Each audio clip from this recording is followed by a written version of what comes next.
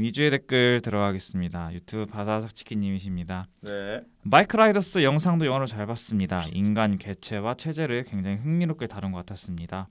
등장인물들은 마을에서 기술공등이며 또는 육체 노동자들입니다. 공부한 사람들은 먹물이라며 배척하죠. 그들은 규칙을 무시하고 자유와 낭만을 품고 살아가는 이들입니다. 특히나 베니는 자신의 본능대로 살아가고 그로 인해 사건 사고를 일으키고 다닙니다. 조직이 작을 때는 리더 조니 선에서 컨트롤이 가능했지만 조직 내 구성원들이 누구인지도 모를 정도로 조직이 커지고는 조직은 거의 폭주 상태에 이르게 되죠. 캐시의 대사 중에 규칙이 싫어하는 사람들이 모여서 규칙을 만든다고 하죠. 그런데 그 최소한의 규칙조차 무너지며 사실상 조직은 와해돼 버립니다. 지평선을 달리는 제한받지 않은 자유 그리고 그 자유를 통제하는 규칙 사이에 굉장한 서스펜스가 영화 내 곳곳에 있습니다. 또한 영화는 지나간 것들에 대한 로망을 담고 있습니다. 사진 작가의 말처럼 그때 그 시절의 법을 무시하며 자유를 꿈꾸던 그들은 어떻게 되었을까에 대한 궁금증이 영화의 플러스를 이루고 그걸 끝까지 끌고 가서 관객들도 마지막까지 등장 인물들이 어떻게 되었을지 궁금하더군요. 조니와 그 세대 친구들이 다음 세대에 밀려 시간의 흐름에 어쩔 수 없이 사라진 그 문화나 그 시절 향수를 그린 영화 같았습니다. 매니의 두 분의 눈물도 인상적이네요. 결국 매니는 자신의 자유로운 삶을 사랑했던 것처럼 보였는데 막판에는 조니로 표현되는 우정이나 연대를 더 사랑했던 것 같아요. 네. 그리고 에드워드 양 독립시대도 음. 보셨나봐요. 에드워드 양 감독님이 독립시대 봤는데 너무 좋았습니다. 올해 본 영화 중 가장 마음을 울리는 영화였네요. 개인 간의 오해, 진실과 거짓, 배려를 위한 가식 또는 자신의 이익을 위한 거짓, 서로 간의 사건 내 자기가 아는 인물들의 이야기인데 그걸 인지하지 못하는 오해, 그걸 중국과 대만의 관계로 확장하고 또 그쵸. 나아가 예. 상업 영화와 독립 영화의 경계에 대한 이야기까지 뻗어나갔고 그렇죠. 엔딩 장면에서 그 모든 비유와 은유를 인간의 사랑으로 매듭짓는 결말까지 최고였습니다. masterpiece였습니다. 대사 하나하나 정말 좋았습니다. 특히 감정을 돈으로 바꿀 수 있느냐, 문화산업이라는 것이 그런 것이다. 그럼에도 불구하고 돈으로 살 수 없는 감정도 존재한다라는 대사는 진짜 캬, 소리가 나오네요. 아, 저도 어제 봤는데. 트랜스포머 원도 보셨나봐요. 네. 트랜스포머 원도 재밌게 봤습니다. 초반 부분이 조금 늘어지는 부분도 있었지만 후반부는 정말 몰입해서 봤습니다. 액션 장면의 편집, 특히나 레전드 프라임들의 회상 아. 전투씬은 정말 좋았네요. 노예처럼 살아가는 로봇들 그리고 감언이설로 매스컴의 이미지 좋은 센티널 프라임이 사실 배신자였다는 설정도 지금 시대와 유사하게 느껴지네요. 노동자 로봇들도 그들에게 더 성장할 수 있는 잠재력이 있고 더 나아가 개체마다 개성을 품고 변신할 수 있다는 설정이 좋았습니다. 아쉬운 부분은 제가 미국식 조크를 몰라서 분명 무언가 웃기려고 했던 장면들이 있었는데 저는 웃지 못했습니다. 영화관에 피식피식 하시는 분들도 계셨는데 저는 몰라서 못 웃었네요. 음. 다음 주는 조커군요. 저도 굉장히 기대하고 있습니다. 제가 배트맨 시리즈도 좋아하고 특히 조커란 캐릭터 자체를 좋아해서요. 다음 주도 기대되네요라고 하면서 한 주 동안 본 영화를 털어주셨습니다. 네. 마이크 라이더스는 근데 그새 내려간 것 같아요. 다행이다.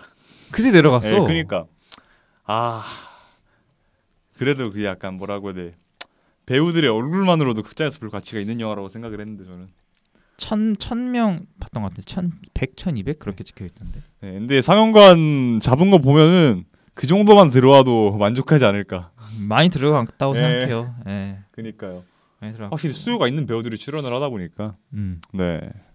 또 있고 독립시대도 아 이거 봐야 되는데. 아 안 보셨나요? 네. 아, 아, 저 어제 봤는데 그러니까 확실히 좀 기존 에드워드 양 영화랑 좀 다른 느낌이거든요 음.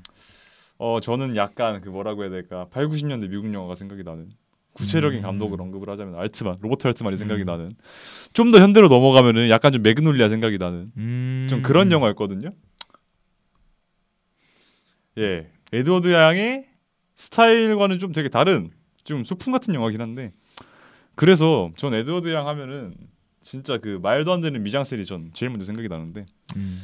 오히려 미장센 같은 건 얼마 없고 오히려 오히려 대사랑 그런 되게 미니멀하게 직조된 장소만을 가지고 이야기를 하는 영화라고 생각을 하거든요. 그러니까 왜냐하면은 저는 이 독립시대라는 영화가 결국에는 속임수에 대한 영화라고 생각을 했어요. 음. 속임수, 속임수에 대한 영화.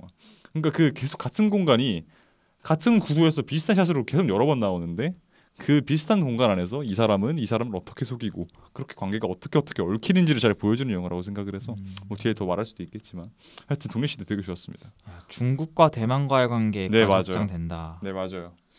사실 어제 이란이 때렸죠. 아 맞습니다. 이거 진짜 큰 일이에요. 맞습니다. 진짜 큰 일이에요 이거. 네. 아 그렇다 보니까 네. 요즘 그냥 세계 정세가 네, 쉽지 않아서 네. 네, 또 그렇게 보게 되네요. 두 번째 읽어주시죠. 네, 두 번째 댓글 유튜브에서 JY님께서 달아주셨습니다. 전에 추천하셨던 산이 부른다 보고 왔습니다. 사전 지식이 없이 그냥 산 구경하러 보러 갔는데 구름과 눈 덮인 산이 보여주는 풍광이 정말 매력적이었습니다. 전에 프랑스 샤모니에서 몽블랑에 올라가는 케이블카를 탄 적이 있는데 아마 영화에서 나오는 것과 같은 것 같습니다. 그때는 구름이 많아서 절반까지밖에 안 올라갔거든요. 그것도 엄청 났는데 갑자기 일 때려치고 산에 눌러 앉고 미모의 여셰프랑 썸 타는 거 보면서 공상과학 영화라고 생각을 했는데 너무 이쁘시더라. 갑자기 내가 뭘 보고 있는 거지?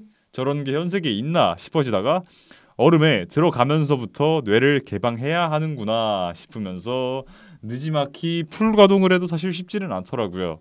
자연으로 돌아가는 느낌을 주려고 한 게 아닐까라는 느낌적인 느낌만 받고 마지막 산을 다시 내려오는 주인공처럼 저도 현실에 장력했습니다. 출근해야 하니까요. 슬프네요.라고 달아주셨습니다. 저 산이 부른 다 봤거든요. 네. 산이 부른 다 봤는데. 저번에 말해주셨죠. 네. 예. 아왜 그 레터박스 평이나 뭐 네. 평이 그렇게 가, 어, 내려앉은지 음. 알겠다. 음, 뭐라고 뭐 생각하시나요? 간단히 말하자면 네. 저도 동감하고요. 그러니까 네. 저도 사실 그 저도 유럽의 인터라켄에 갔었던 그 엄청난 그 자연 광경과 네. 여덟 개의 산에서 봤던 그 자연 야. 풍광들이 정말 잘 찍혔다. 그래서 이 영화는 확실히 생명력에 대해서 좀 이야기하는 것 같아요. 네. 어, 현대 사회에 지친 주인공이 자연으로 가서 뭔가를 느끼고 싶어서 또 우연스럽게 또 낙석이 떨어지는데 그 과정에서 또 다른 생명력을 마주하면서 이제 막 문제는 그 이후 여기 네. 나오는 뭐 공상과학처럼 막 갑자기 얼음 들어가는데 막 네. 이, 뭐 처음 보는 광경이 펼쳐지니까 네. 근데 거기다가 로맨스 섞이고 그렇고 하다 보니까 아. 약간 프랑스식 비빔밥이 돼버린 아, 느낌이었어요. 아 요즘 비빔밥도 트렌드죠. 네, 네. 좀 비빔밥이 돼버린 느낌이라서. 네. 아 근데 되게 그 여배우님이 되게 아름다우셨다라는 것도 동의. 아 그렇. 그래서 호불호가 나뉘었다라는 것도 아. 아, 알겠다라는 그런 지점의 영화였습니다. 네. 이주 영화 이슈.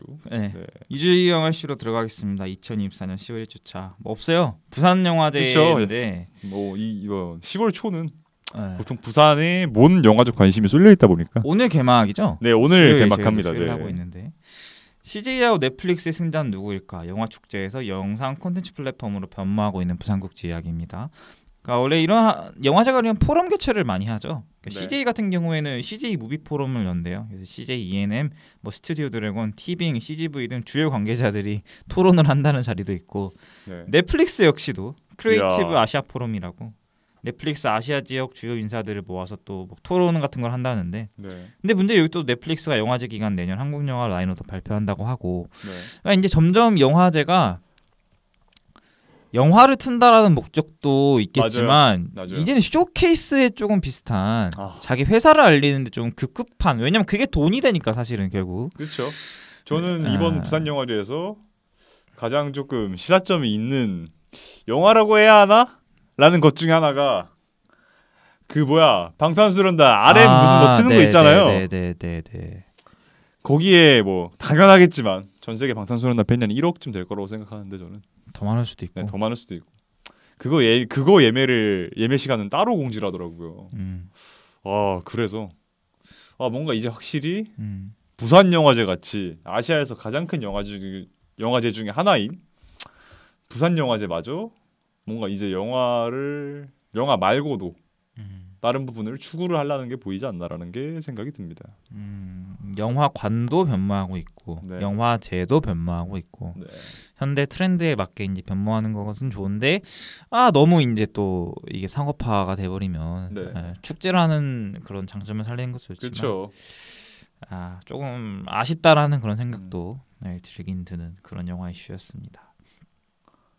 박스오피스 얘기 잠깐 하면 조커가 또 1등을 했다네요.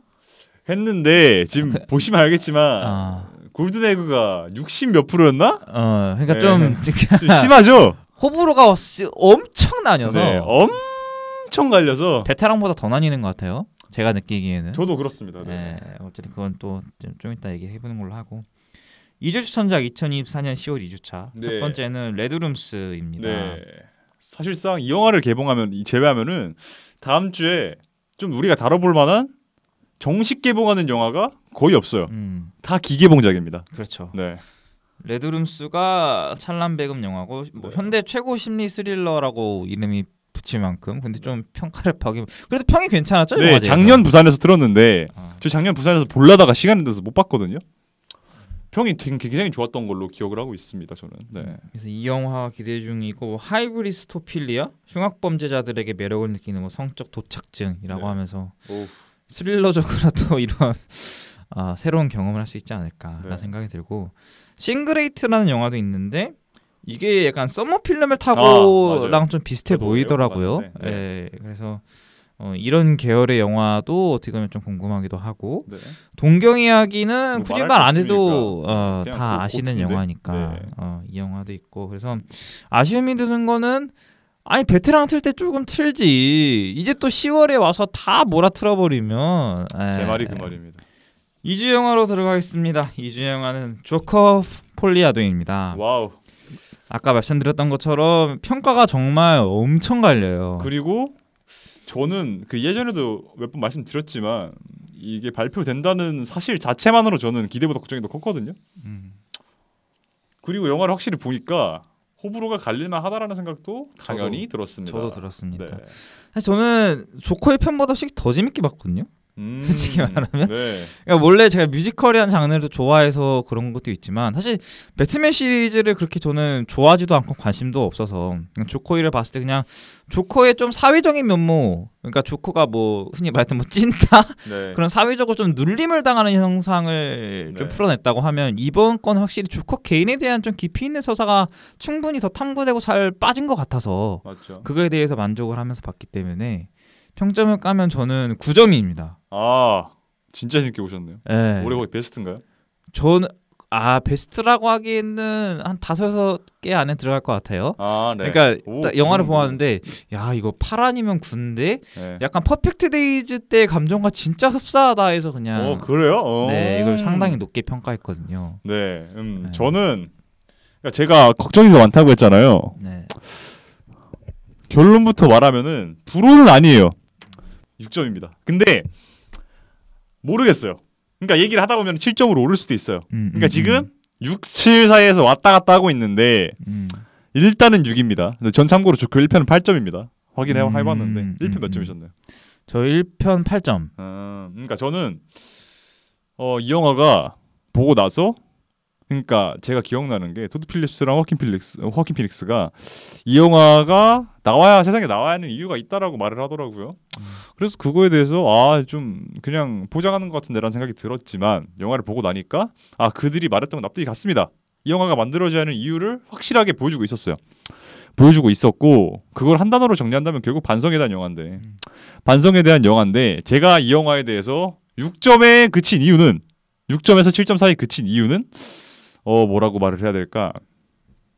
이 영화는 반성에 대한 영화잖아요. 음, 음. 반성에 대한 영화면은 자신이 저질렀던 자신이 이전에 행했던 것들에 대한 관조적인 태도가 있어야 한다고 저는 생각을 하거든요. 반성에 대한 영화라고 한다면은 자신이 이전에 무슨 일을 저질렀고 그것에 대해서 어떤 생각을 하고 있는지에 대한 사유와 그 사유가 그 사유를 화면으로 풀어낼 때에 보여지는 관조적이고 건조한 태도가 있어야 한다고 생각을 하는데 이 영화는 반성을 한다고 하기에는 제가 봤을 때는 좀 너무 과시적인 면이 있었다고 생각합니다. 연출적인 면을 봤을 때 1편보다 과시적인 면이 더 심했다고 생각해요. 음. 그러니까 나는 이거에 대해서 반성을 할 거야. 라고 생각을 해야 한다면은 참여하는 태도가 있어야 한다고 생각을 했는데 이 영화는 어 뭐라고 말을 해야 될까 더 그러니까 반성을 하기 위해서 더 보여줘야겠어라는 음. 의욕이 너무 과다했다라는 생각이 들었습니다 저는. 음. 뭐 얘기하면 달라질 수도 있겠지만. 그러니까 저도 이 영화가 분명히 좋은 점들이 꽤 있다고 생각을 하거든요. 뭐 얘기를 하면서 생각나는 것들이 더 있을 수도 있겠지만은 지금 당장은 이 영화를 그렇게 마음에 드, 들어하지 않는 가장 큰 이유가 이겁니다. 네. 조커 조커에 집중됐다기보다는 그쵸. 사실 아서플렉에 대한 대한 개인에 대한 게 많았기 때문에 네. 기존의 조커의 그런 뭔가 참혹함을 좀 기대하셨던 분들에게는 확실히 다른 계열의 영화였다. 그러니까요. 아, 영화의 첫 장면 가면 그 루니툰 형식의 그 애니메이션이 네. 빠지고 뭐 그림자를 끌고 다니는 조커의 모습이 나옵니다. 그래서 그림자를 조커에 가두는 게 그 1편에서 나왔던 그 뭔가 망상으로서 이제 무대를 뭔가 지배해 버리는 거를 이제 애니메이션으로 좀 요약해서 그렇게 보였던 것 같다라는 생각이 들었고요. 네. 그래서 거기서 이제 나오는 게 뭐 조커가 원하는 것은 이 세상에서 뭐 부족한 건 사랑이다. 최소한의 사랑만을 원한다. 그라는 지점에서 어떻게 보면 좀 이 편의 내용을 또 간접적으로 전달하는 게 아닌가. 네. 아, 결국은 저는 이 영화는 사랑에 대한 영화라고 봤기 때문에 맞습니다. 네. 예, 그거를 아마 첫 장면에 그 애니메이션으로 그려내지 않았을까라는 생각이 들었고요. 예, 시작한데 이제 농담이 이제 뜸한 아스플렉이고 웃기려고 하지도 않는데요. 그러니까 어떻게 보면 이게 전편에서는 농담으로는 사람들을 못 웃겼지만 살인을 저지름으로써 이제 사람들이 그 조커 마스크를 쓰면서 어떻게 보면 웃긴 모습을 보였던 네. 어떻게 보면 교도소 아니니까 농담도 제대로 못하고 살인도 못하니까 네. 이 사람은 그냥 너무 우울감에 빠질 수밖에 없는 네. 그냥 웃길 수밖에 아니 웃길 수 없는 그 상황이 나오고 저는 그 농담을 하지 못하는 타이밍에 농담을 해야 되는 타이밍에 저는 그 노래가 나왔다고 생각을 했기 때문에 아, 네, 저도요. 그래서 농담이 노래로 전환됐다라고 생각해 보면 저는 뮤지컬이 전혀 나쁜 선택은 아니었다. 네. 그것도 조커의 어떻게 보면 예술의 한 형식이었다라고도 저는 어, 생각이 들더라고요. 어쨌든 농담과 그 노래의 공통점이라고 하면 농담과 노래를 해요. 네. 그것도 근데 어떻게 보면 그 망상에 가까운 짓이겠죠. 네. 근데 공통점은 그게 끝나면 어쨌든 똑같이 현실은 싸하다라는 네. 거죠. 네. 어 그것도 있고 뭐 어떻게 어머니. 보면 스스로 더 망상에 빠지게 하는 네. 것이다 보니 어, 그거에 대해서 저는 사실 큰 차이점 느끼지 못했다. 네. 어 근데 어쨌든 이게 가장 호불호가 나뉘었죠. 아 그렇죠. 왜 이렇게 노래를 했었고 어, 왜 타이밍이 왜 이러는 그렇죠. 거야? 사람들은 흐름 끊긴다고 말을 어. 하죠. 네. 근데 저는 그게 오히려 야 그냥 농담 던질 타이밍 그냥 뮤지컬로 표현된 건데 그게 큰 문제가 될까라고 생각해 보면 음. 저는 큰 차이를 못 느꼈다. 그래서 이제 아서가 뭐 너가 키스하는 법을 알려준대라고 음. 하면서 그 죄수가 다가오기도 하고요. 네. 그래서 이 아서의 경우에는 사랑하는 방법을 모르니까 그냥 순수하게 마음 가는 사람한테 막 네. 변호인한테도 뽀뽀를 하고 어 그런 순수한 모습을 보여줍니다. 근데 너무나도 참혹했던 건 어쨌든 이 영화의 아서의 시작과 끝은 모두 다 교도소 교도소가, 네. 어, 였다라는 것이기 때문에 어떻게 보면 지속적으로도 교도관이 그냥 오늘은 농담 없냐라고 네. 이제 조크를 던지는데 그 지점에서 이제 제가 느꼈던 거는 아 교도관들은 전혀 뭐랄까요 시각에 뭔가 관심이 없구나 네. 그래서 오히려 막 그 카톨릭 강아지에 대한 얘기도 하고 면도를 시켜주는데 네. 그냥 더 섬세하게 해줄 수 있는 걸 그냥 지들이 그냥 피를 흘리게 만들어 버리니까 음. 그래서 이 사람들의 시각은 결국 변하지 않고 어, 조커가 어떻게 되든 그냥 하나의 광대로서 그냥 이 사람을 계속 두려고 하는구나라는 그런 지점으로 장면이 보이더라고요. 메인 타이틀이 나오는데 그 비가 오는데 그 우산 네 개를 드는 장면이 있었죠. 아, 네. 그게 상당히 어떻게 보면 눈에 확 들어왔는데 그렇죠. 빨- 대놓고죠. 어, 네. 빨노 파주가 저는 아소와 네, 리의 그. 의상 색깔이었다고 봤기 때문에 네.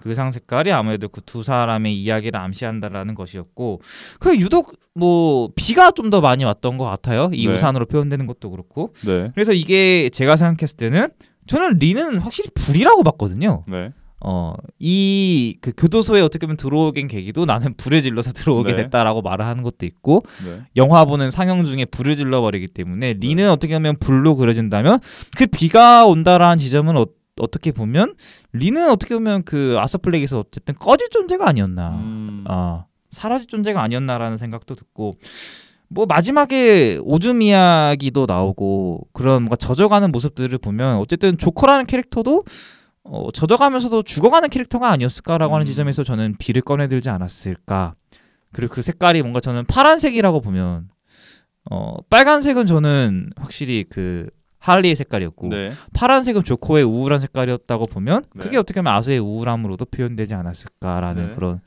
어, 지점으로 보였습니다. 아서의 상담이 이게 영상으로 기록되죠. 그러니까 이게 1편 때도와의 똑같은 공통점은 화면이 정말 많아요. 음. 스크린이 많다라는 거죠. 그 말인 지점은 그만큼 지금 많은 사람들의 관심이 다 조커에게 지금 향하고 네. 있다라는 거거든요. 네, 맞습니다. 그래서 이제 아소는 뭔가 사람들에게 이제 입방아에 오르내리는 그런 이제 하나의 아이콘이 된 것이고 조커의 인격이 뭐 하나인가 두 개인가 그런 거는 이제 사람들이 관심이 없다. 조커의 내적 변화에는 관심이 없고 이 사람들은 오로지 그냥 보고 싶은 것만 본다. 스크린을 통해서 조커 해 네. 그냥 그렇게 하나의 엔터테인먼트가 되어버린 네. 그런 상황을 이렇게 간접적으로. 네. 네. 간접적으로 표시한다. 그래서 TV에서 내 이야기로 뭐 영화가 나왔다라는 말도 남기고 그래서 이 사람들은 다섯 죽였는지 여섯 죽였는지 관심이 없어요. 그냥 계속 다섯 죽였는지만 알고 이 조커에 대한 가십이 점점 더 사회 문제로 커져가고 있는데 그거에 대한 관심 없이 그냥 웃음거리로만 네. 사용하려는 그런 사람들의 모습이 이렇게 보여지지 않았을까라고 네. 생각을 하죠. 근데 그와 반대인 지점은 이제 교도소 안에 있는 사람들인 거죠. 네. 그 네. When the Saint Go 계속. 나오죠. 네, 계속 나오죠. 그게 이제 성인들을 행진할 때라는 곡인데 교도소에서 이제 수없이 불리고 이렇게 노래가 되는 이유는 어떻게 보면 사회적으로 버림당한 어떻게 사람들이 이제 교도소에 와서 교도소에서 희망이 될 수 있는 게 그 뭔가 사회적으로 도움을 주는 사람이 아닌 조커가 되다 보니까 음. 조커를 어떻게 보면 찬송하는 계속 노래가 돼버리는 게 아닐까. 어 라고도 보여졌어요. 어, 밖에서는 그 노래가 안 불리고 그 교도소 안에서만 거의 불리다 보니까요. 그렇죠. 그리고 이제 레이디 가가가 연기한 리가 나오고 아서를 만나게 됐는데 그 총을 쏘는 signature를 음. 따라한다라든지. 저는 이 총 signature에서 좀 음. 간단하게 할 얘기가 하나가 있는데 음. 결국에는 이게 되게 흥미롭거든요. 뭐 조커 1편이 오마주한 영화가 확실하잖아요. 스콜세지의 택시 드라이버와 음. 코미디의 왕인데 제가 알기로 그 택시 드라이버에서도 혼자서 총 쏘는 총 쏘는 시늉을 하는 음, 그 signature의 장 signature한 장면이 있잖아요. 음, 음. 근데 제가 예전에 찾아봤을 때 택시 드라이버에서 택시 드라이버가 영향을 받은 또 영화가 순응자거든요. 결국 순응자라는 영화가 어떤 영화인지 좀 한 줄로 표현을 하자면은 결국에는 파시스트의 그릇된 욕망이라고 해야 될까? 파시스트의 그릇된 세상을 깨부숴버리는 그런 영화잖아요. 음.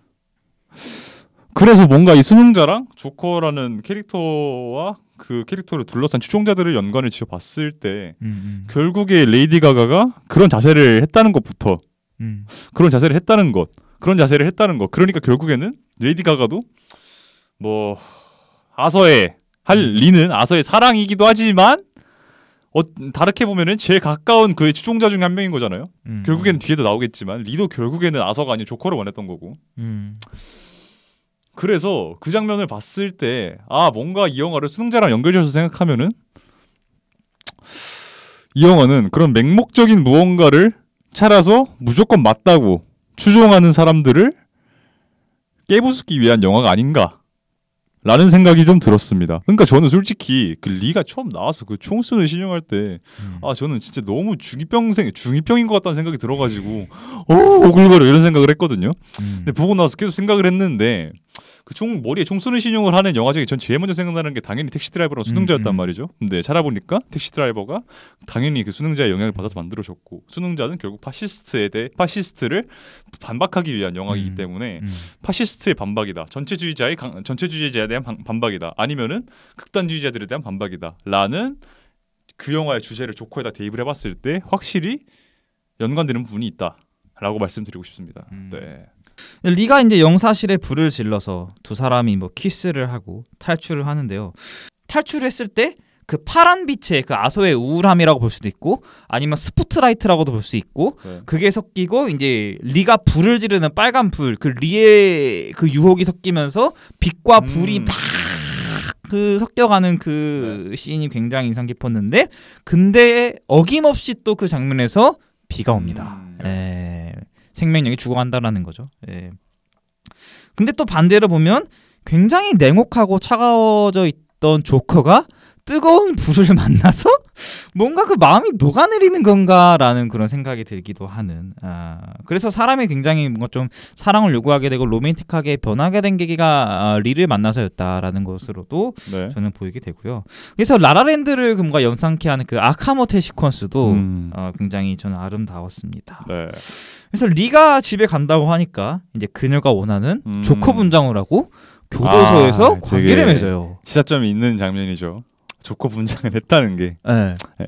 그러니까 리가 원하니까 분장을 하고 그거를 그러니까 어떻게 보면 아서랑 한 게 아니라 조커랑 관계를 맺은 거잖아요. 네, 예, 그렇게 그쵸. 보면, 어.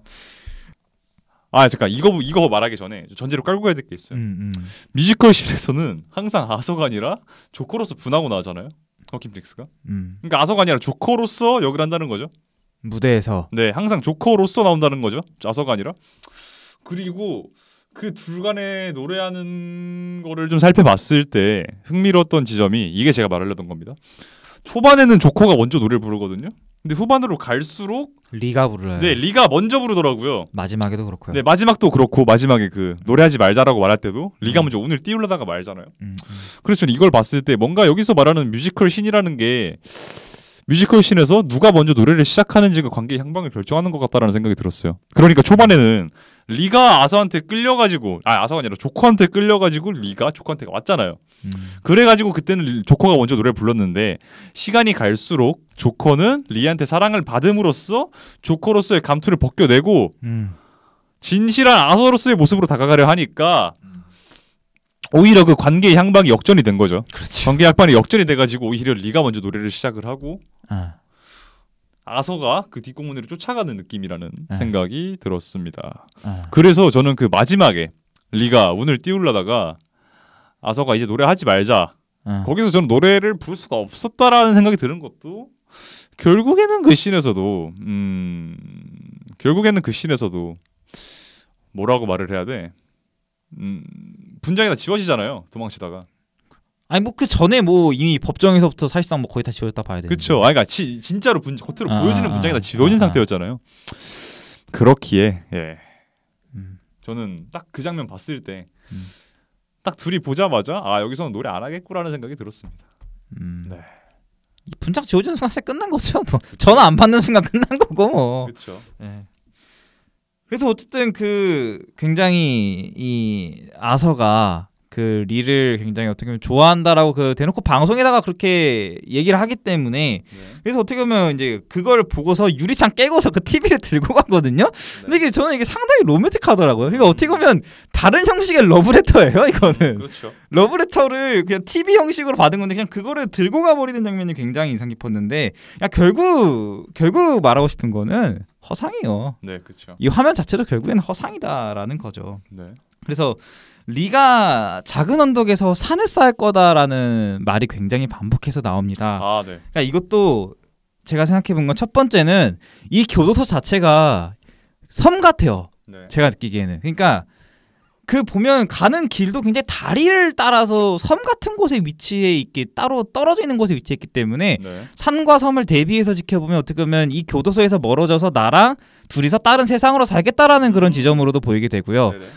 그리고 또 다른 지점은 어떻게 보면 굳이 그냥 산이 작은 언덕에서 산을 짓겠다. 네. 그럼 작은 언덕은 뭘까라고 생각해보면 사실 저는 이건 계단이라고 음. 보게 되더라고요. 네.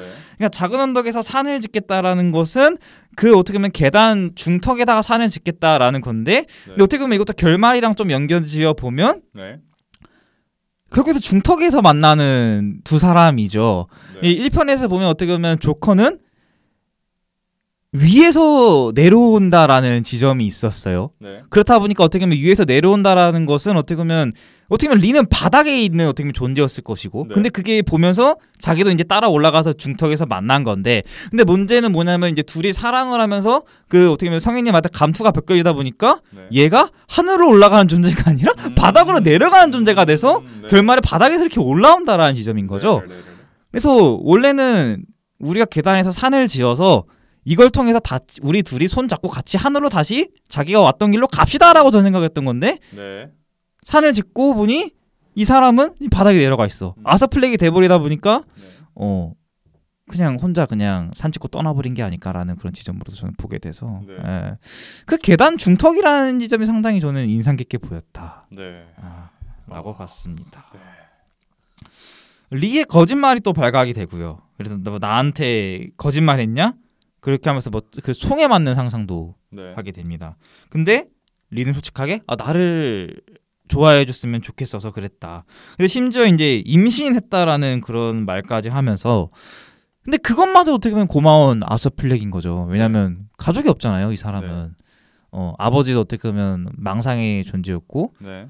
엄마도 자기가 물론 친엄마는 아니었지만 엄마도 그렇게 죽였다는 지점에서 또 다른 가족이 생긴다. 그들만 세상에 생긴다라는 게 분명히 어 그에게는 의미가 있었을 거고. 그래서 변호사를 이제 해고를 하고 네. 조커로 나와서 자기가 직접 신문을 합니다. 그래서 이제 여기서 나오는 사람이 게리 퍼들스죠. 이게 외소증을 앓는 네. 그 아서의 동료였는데 그 게리 퍼들스가 하는 말이 그 나올 때도 사람들이 뭔가 조금 뭐라 그래야 돼요? 좀 하찮게 보고 막 네. 그런 지점이 있었어요. 그래서 내게 잘해준 거는 너밖에 없었다라고 하지만 여기서 이제 나오는 이제 조커가 하는 말이 뭐 퍼들스 뭐 네가 뭐 웅덩이 막 그렇게 농담하는 게 저는 어떻게 보면 그 뭔가 비가 내려서 고여 있는 뭔가 아서의 우울함을 표현하는 것 같기도 하고 아서가 놀릴 때 이 사람의 뭔가 겉모습 그런 걸로 놀리는 게 아니라 어떻게 보면 이름으로 놀린다라는 지점도 음. 아서 내부에는 뭔가 조금 역시나 하나의 사랑이 있었는데 그거를 이제 깨워주는 존재가 저는 이 게리 퍼드스였지 않았을까라고도 아, 생각이 그쵸. 들고요. 아, 이거 제, 제가 아, 이 영화에 대한 비판점이 하나 더 있는 게 여기입니다. 음. 아, 그러니까 어, 그러니까 저는 당연히 이 게리가 등장할 거라고 생각했어요. 음. 그러니까 1편에서도 아 그러니까 뭐라고 말해야 될까? 제가 2편보다 1편을 고평가하는 이유 중에 하나가 장르적인 쾌감 말고도 저는 1편에서도 이런 조커의 폭력성이랄까 광기랄까 그것에 대한 저는 경고가 경고와 같은 메시지를 주는 샷들이 좀 굉장히 많이 있었다고 생각을 하는데 저는 당연히 그거를 대변하는 신 중에 하나가 1편에서 음, 음. 이 게리가 음. 게리가 있었던 현장에서 그 자신의 동료였던 랜드를 죽여버리는 음, 그 음. 눈 찌르고 그 장면이었다라고 생각을 하거든요. 음. 그러니까 결국 그 장면이 관객이 봤을 때는 장르적으로 쾌감이 있고 할 뭐 아니면은 사회적으로 분노를 분출한다는 데 있어서 쾌감이 있을지는 몰라도 현장에는 제3자가 볼 때는 그냥 그렇게 무섭게 볼 수 있다. 음, 그러니까 게리라는 사람이 외소증이든 뭐 어떻게 생겼든 건강하든 아니든 남녀노소든 간에 저는 그런 그런 점에서 이 게리라는 인물이 이 조커라는 감투에 대한 조커라는 타이틀에 대한 경고를 가장 효과적으로 주는 인물이라고 생각을 했거든요. 음. 저는 그래서 뭔가 이 게리라는 인물이 좀 되게 여러 방면에서 조금 더 깊이 있게 등장을 하고 깊이 있게 작용을 하길 원했는데 제 말은 그겁니다. 뭐 게리가 이 후반부 재판실에서 등장했다는 게 틀렸다는 게 아니라 저는 어, 오히려 러닝 타임이 너무 짧지 않았나라는 생각이 들었던 게 이 게리라는 인물에 좀 집중을 하면은 러닝 타임이 짧았다는 생각이 들었, 들었던 게 뭐냐면 어 뭔가 이 게리가 등장하자마자 너무나도 바로 흔들려 버리는 모습이 들었어가지고 음, 음. 그러니까 뭔가 내면에 대한 성 내면에 대한 사유를 조금 너무 지향한 것이 아닌가라는 생각이 들었어요. 그러니까 어차피 이 영화는 제가 봤을 때는 관객에 대한 관객에게 불호를 예상하고 만든 영화라고 생각을 했거든요. 음, 저는 그럴 거면 더 막 나갔어야 한다는 생각을 했, 했었는데 저는 그래서 이 영화가 더 완성도 있게 완성이 되려면은 이 게리를 마주한 아서의 심경을 조금 더 심도 있게 비쳤어야 한다라고 생각을 했어요. 음. 그러니까 제가 말한 그런 건조하고 관조적인 시각이 부족하다. 성찰이 부족하다라고 느껴진 대목 중 하나가 이, 이, 이 신이었어. 이, 장, 이 대목이었습니다. 음, 음, 어. 뭔가 자신을 진짜로 아서 그 자체로 바라봐준 사람에 대한 음. 뭐 미안함도 들어가 있을 거고 고마움도 들어가 있을 거고 그것이 섞여가지고 여러 복합적인 감정이 들 텐데 그것에 대한 생 그것에 대한 뭔가 조금 더 구체적인 설명이 없이 바로 그냥 흔들리고 그러고 그냥 바로 그게 법정이 터져버리는 일종의 카타르시, 카타르시스로 표현된 부분이 음. 아 저는 이 부분은 좀 아쉬웠습니다. 저는 근데 그것도 어떻게 보면 하나의 의도성이 있지 않았을까라는 아, 생각도 들더라고요. 아? 그러니까. 터트린 게 그러니까 물론 그 유일하게 아서 플렉으로 봐주는 이 네. 게리 퍼들스의 장면을 좀 더 길게 할 수 있었는데 길게 하지 않고 끄는 거는 네. 우리 사회 자체가 그냥 조커로 두고 싶어서 아, 어, 어, 어, 있겠네요. 어, 어. 네, 메타적으로 보면. 예, 우리 사회가 그냥 이 사람을 더 이상 뭐 그렇게 공감하고 싶지 않아서 저는 터트렸다라고 봤기 때문에 그러니까 네. 이것도 어떻게 보면 조커가 계획 안에서 터트린 게 아니라 누군가에 의해서 음. 본인이 원치 않았는데 터트린 거잖아요. 아, 아 어, 예, 예. 그렇죠. 원치 않아서 사회가 원해서 터트린 거기 때문에 저는 그거를 감독이 용납하지 않았다라고 생각을 어, 합니다. 네. 네, 그렇게 보게 됐어요. 그래서 그 어떻게 보면 법원에서 그 찍히는 카메라도 보면 스크린이 굉장히 푸르댕댕해요. 네. 그러니까 뭐 TV에서 나오는 화면은 일반 화면처럼도 나오고 뭐 빨간색도 있었고 한데 그 유일하게 그 법원에서 나온 장면들이 푸르댕댕하게 나오다 보니까 이 자체가 이미 사람들에게 보이는 하나의 조커의 쇼처럼도 보이게 되는 네. 음, 그런 모습으로도 보이게 되고 그래서 보면 후반부의 그 리의 모습을 보면 그 조커랑 처음 만났을 때는 그 얼굴에 막 파란색도 분장을 하면서 조커가 굉장히 흡사하게 모습을 보이는데 근데 후반부에 가면 갈수록 이 리의 외상은 뭐 빨간색, 네. 검은색, 네. 뭐 하얀색. 예. 그렇죠. 아서의 우울함은 찾아볼 수 없는 어 본인이 뭔가 조금 더 타오르려고 하는 그게 굉장히 짙게 보이게 됩니다. 네. 예, 예. 어떻게 보면 다탄 재처럼도 보이기도 하고요. 음, 예, 네. 예, 예. 그래서 이제 조커가 뭐 없다라는 말에 이제 뭐 리가 이제 법원에서 나가 버리기도 하고요. 그리고 이제 얼굴 화장이 이제 지워지고 이제 본격적으로 이제 아서로서의 편결을 받는데 거기서 말씀해 주신 것처럼 벽이 폭발해 버립니다. 네. 그래서 이제 조커를 내려놓은 아서와 환상을 놓을 수 있는 이제 리가 다리의 중간 지점에서 만나서 대비가 됩니다. 네. 그래서 뭐 여기서 말하는 게 아서 플렉이 나랑 자유롭게 가자, 네. 자유롭게 가자고 하는데 네. 리는 그 망상 속에서 지워질 수 없으니 노래를 부르고 음. 혼자 이제 떠나버리죠. 그래서 다시 교도소행으로 가는 아서예요. 그랬더니 뭐 농담 들려줄게 하면서 이제 어떠한 재수가 너 같은 놈은 죽어도 싸다. 어, 이게 그 1편에서 나왔던 음. 아, 대사였죠. 네. 예, 그래서 칼빵을 꽂고 아무래도 이거는 이제 조코의 추종자들을 배신한 행위였다 보니까 네.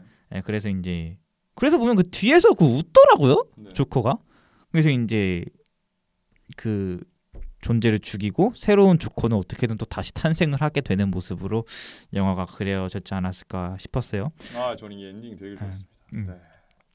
그래서 다시 이제 결론 지어 보면 조커의 추종자들과 리는 조커를 사랑했지 아서 네. 플렉은 사랑하지 않았다. 그리고 마지막 카메라를 보는 그 처절함, 처참함이라고 해야 될까요?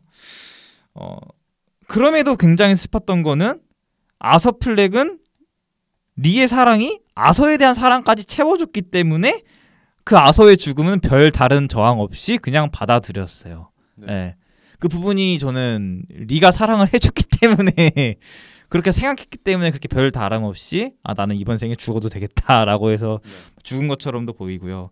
근데 과연 저는 혹시나 속편이 만들어진다면 조커를 이렇게 죽일 것인가? 음. 저는 이 사회가 조커를 이렇게 죽일 것 같지 않아요. 음. 예, 예. 이 사회가 이 조커를 그렇게 다 가만히 남겨두지 않았, 않았을 것 같습니다. 아, 근데 제가 인터뷰를 봤는데 아, 뭐안 맞는다고 하긴 하던데. 네, 그냥 네. 조커는 여기서 끝낼 것 같다라고 말을 하더라고요. 네. 토드 음. 필립스랑 허키 피닉스가. 음.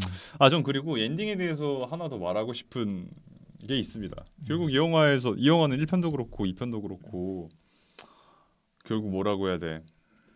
망상과 현실 중 뭔가를 분간할 수 없다는 분간할 수 없는 신들이 많잖아요. 네네네. 저는 그래서 엔딩도 오히려 망상이 아닐 수도 있, 아, 망상일 수도 있겠다는 생각이 들었던 게 그렇죠.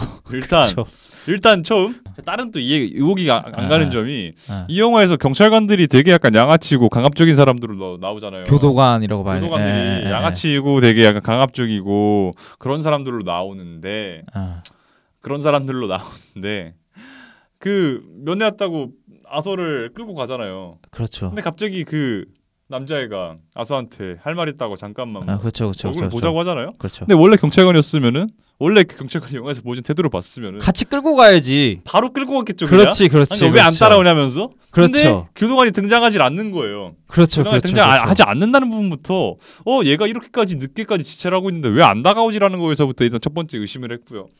두 번째 의심은 그렇죠. 그거였습니다. 그렇죠. 이제 저는 어 뭐라고 해야 돼? 이 영화에서 도저히 면회를 올 사람이 없다라고 생각을 했거든요. 아서한테. 그렇죠. 예. 아서한테 면회를 올 사람이 없는데 도대체 누가 면회를 왔다는 거지? 뭐 그나마 있다면은 게리? 아, 네. 그렇죠, 그렇죠. 그렇죠. 그나마 있다면은 게리 정도인데 그렇죠. 이제 면회 올 사람이 아무도 없이 혼자 남겨진 아서인데 그러니까 영화 그러니까 게리가 있다고 하지만 영화의 이런 의미상적인 측면을 생각을 해봤을 때 결국에는 이 마지막에 남겨진 아서는 쓸쓸하게 남겨지고 주위에 아무도 없- 없이 고립된 아서가 맞는 거라고 생각을 했거든요. 그렇죠. 근데 도대체 누가 면회를 온다는 거지라는 생각도 들었고 그래서 저는 그리고 그 아서를 죽이 죽인 그 남자가 음. 그 아서가 죽고 나서 쓰러진 그 모습 뒷모습으로 자기 입을 찢으면서 새로운 조커로 거듭나려고 하잖아요. 어, 나 그거 못 봤어. 근데 입을 찢어요, 봐까? 네, 입을 와. 찢어요. 입을 찢는데 아, 그 못 못 봤구나. 네, 전 봤는데 레전드. 아니 근데 저는 이 장면도 좀 의혹이라고 생각이 드는 게 아, 세 번째 의혹은 그거였어요. 찌르고 나서 점점 아. 쓰러져가는 아서의 모습을 보여주잖아요. 아, 근데 그 배에 피가 흥건한 그 모습을 보여주는데 어 저는 그게 조금 과대 해석일 수도 있습니다. 이 영화가 망상이라는 과대 해석일 수도 있는데 이가 이 영화가 망상이라는 것에 대한 합리성을 줄라는 조금 과대 해석일 수도 있는데 저는 뭔가 음. 그 영화가 좀 그그 부분이 뭔가 좀 제왕절개 같다는 느낌이 들었다. 출산이라는 느낌이 들었다라는 느낌이 드는 거예요.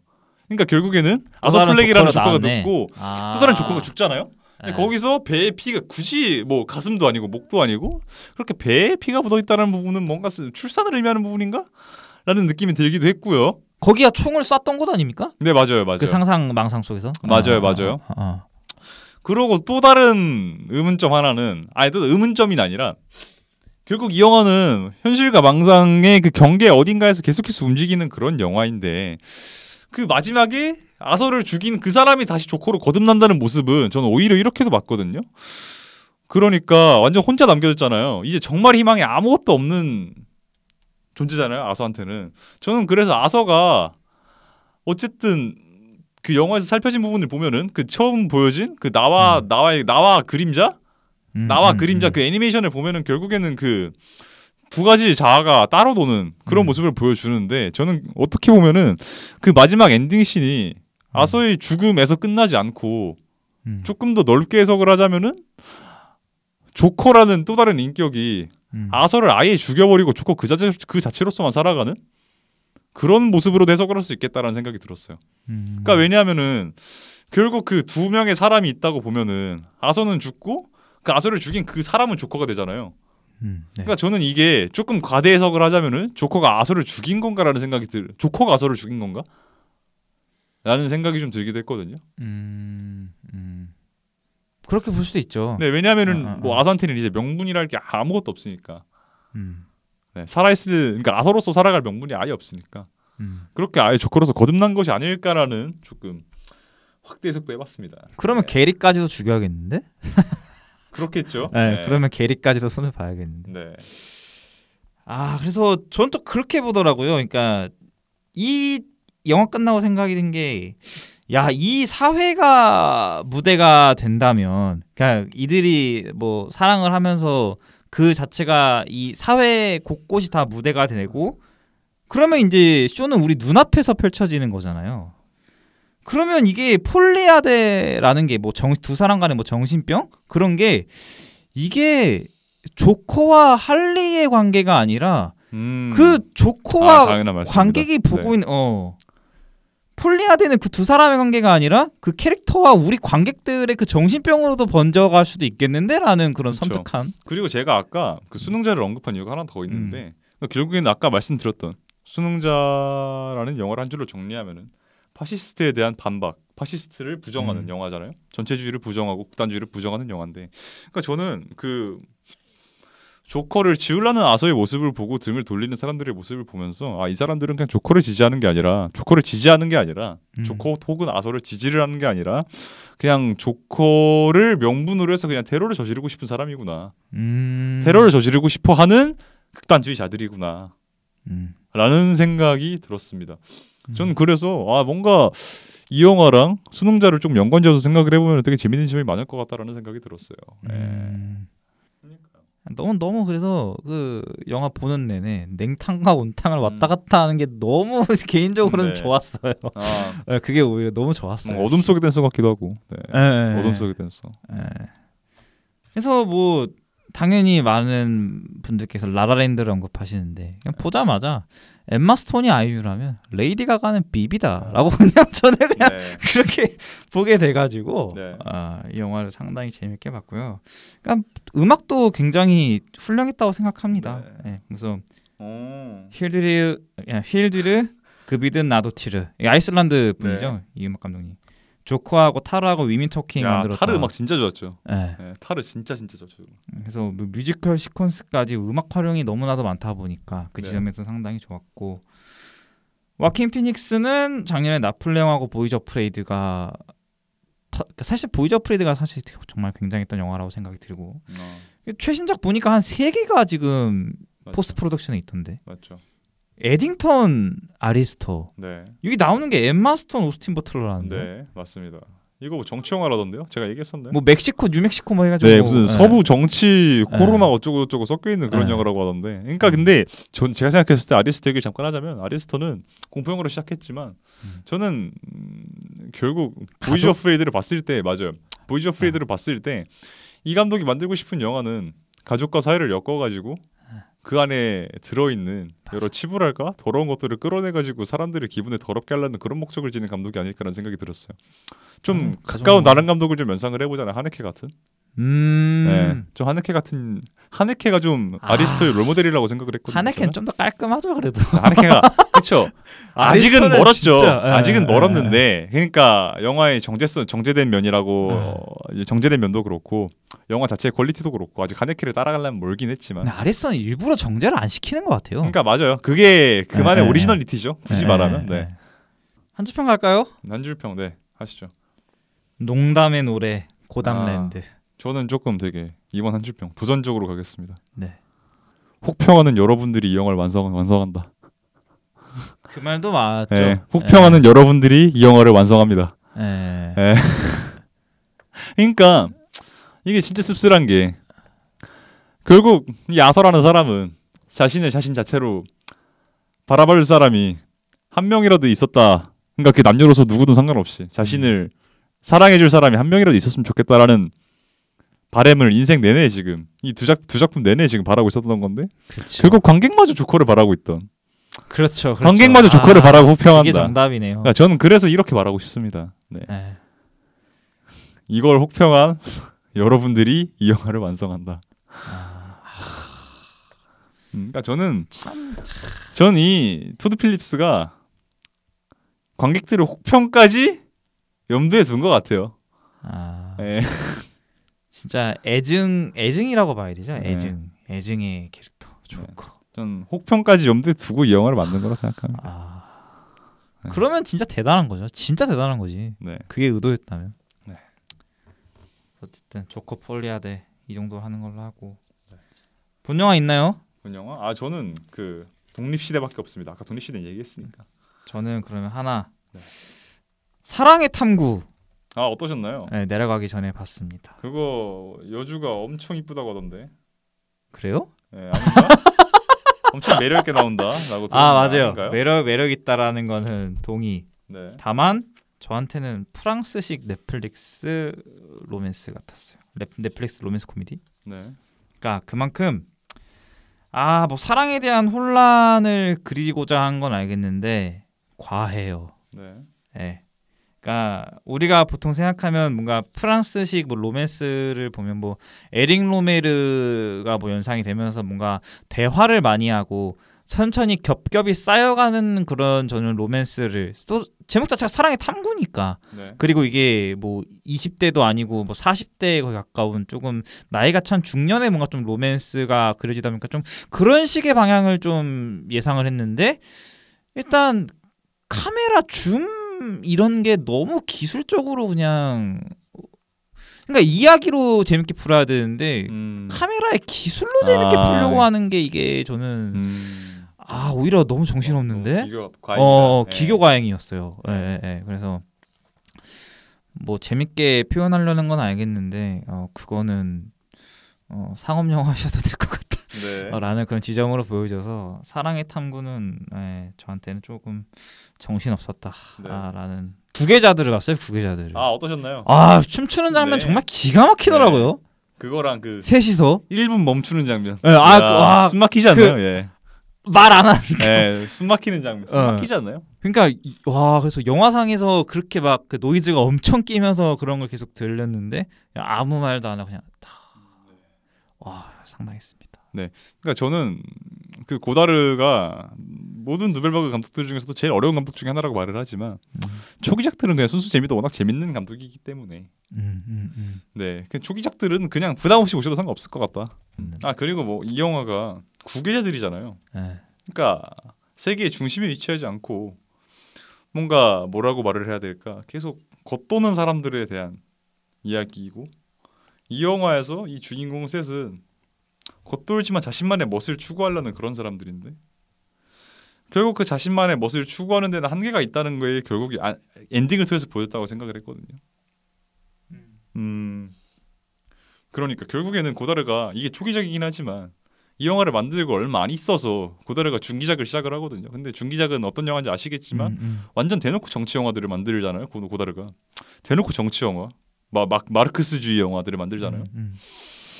그런 지점에서 생각을 해 본다면은 이 음. 구계자들 같은 영화에서부터 뭔가 고다르는 아 영화의 되게 사회적인 측면을 자신만의 방식으로 좀 넣으려고 했나 보다라는 생각이 들었어요. 음. 네. 나는 그 돈이 개집에서 나올 줄은 상상도 못했어. 아 그렇죠. 와. 그것도 되게 그러니까. 고달의 정치 성향을 생각해 본다면은 네. 되게 시사점이 있는 어, 장면이죠. 네. 돈이 계집에서 나온다는 게. 네. 네. 상상치도 못했어서 네. 영화 뭐, 그 정도. 산이 부른다 아까 했고. 어. 저 수유천 봤는데 아. 수유천 봤는데 아전 영화 좋던데요. 네. 좋았다면 다행이다. 좋던데요. 그러니까 저는 뭐라고 해야 될까 이 영화가 결국 시선의 영화라고 생각했어요. 네. 시선의 영화. 그러니까 이 영화에 등장하는 모든 주요 인물들이 다 예술가잖아요. 어쨌든 음. 예술가의 시선에 대한 영화라고 생각을 했어요. 그러니까 계속 예술가가 무엇을 바라보고 어떤 사건이 등장을 하는데 그 영화를 김민희 아니면 권혜호가 바라보고 계속 이런 영화라고 생각을 했어요. 예술가 예술가가 대화하는 장 대화하는 대목을 또 다른 예술가가 관조를 한다. 어든 음. 혹은 예술가의 주위에 이 드러나는 사건들을 또 다른 예술가가 관조를 한다. 음. 라고 생각을 했어요. 그러니까 저는 왜냐하면 요즘 홍상수 영화들을 봤을 때 느끼는 점이 요즘 홍상수 영화는 크- 크게 구조에는 신경을 안 쓴다는 느낌이 들었어요. 음. 그러니까 왜냐하면은 우리가 좋아했던 옛날 홍상수 영화들을 바라보면은 뭐 반복되고 그 극장전이라던가 북촌 방향이라던가 지금 맞고 그때는 틀리다라던가 음, 음. 이 영화가 딱 끝났을 때 완성되는 그 구조적인 쾌감이 있거든요. 음, 음. 근데 그런 거는 조금 지양을 하고 요즘 홍성수는 영화의 샷 자체에 되게 신경을 쓴다라는 생각이 들었거든요. 샷 자체. 그러니까 이 샷을 어떻게 만들 것인가에 대한. 그런데 저는 이 영화를 봤을 때 카메라가 움직이 어떻게 움직이고 어떻게 전환이 되고 하는 거를 봤을 때 아 이 영화는 이 어떤 인물의 시선이 어느 방향으로 향하는지에 대해 시선을 썼다라 신경을 썼다라고 느꼈거든요. 그리고 이 여기 등장하는 그 바라보는 인물들은 모두, 예술가잖아요. 그 시선의 결말 끝에서 등장하는 예술들은 또 어떤 새로운 것을 만들어내는가에 대한 질문을 하는 영화라고 느꼈어요. 그런데 수유천의 마지막 대사에서 권혜호님이 김민희님한테 아 거기 뭐 있었어 하는데 김민희님이 아니요 아무것도 없어요 하면서 끝나잖아요. 그러니까 홍성수는 이 영화를 통해서 수많은 예술인들과 교류를 하고 거기서 비롯된 거, 거기 거기에 자신의 생각을 더해서 새롭게 파생된 어떤 예술을 만들고자 싶어 했는데 그것에는 답이 없다라고 말하는 것 같았습니다. 그래서 결과물도 되게 비판을 받죠 그 영화에 네. 대해서. 네. 그러니까 그 권혜원님이 결국에는 그 촌극을 만들잖아요. 네. 촌극을 만드는 과정에서 엄청나게 많은 예술인들이랑 교류를 하잖아요. 음. 그래 그래서 야심차게 의욕도 없고 만드는데 결과는 좋지 못하잖아요.